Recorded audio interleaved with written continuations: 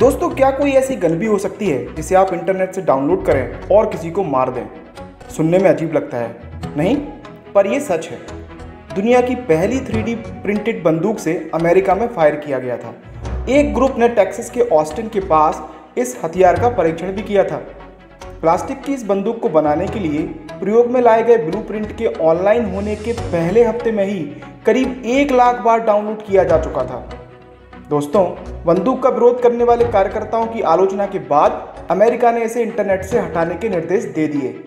इसका मतलब ये है कि अब ये गन इंटरनेट पे अवेलेबल नहीं है। तो दोस्तों, अगर आपके पास ये गन होती, आप क्या करते? क्या आप इसे इंटरनेट से डाउनलोड करते?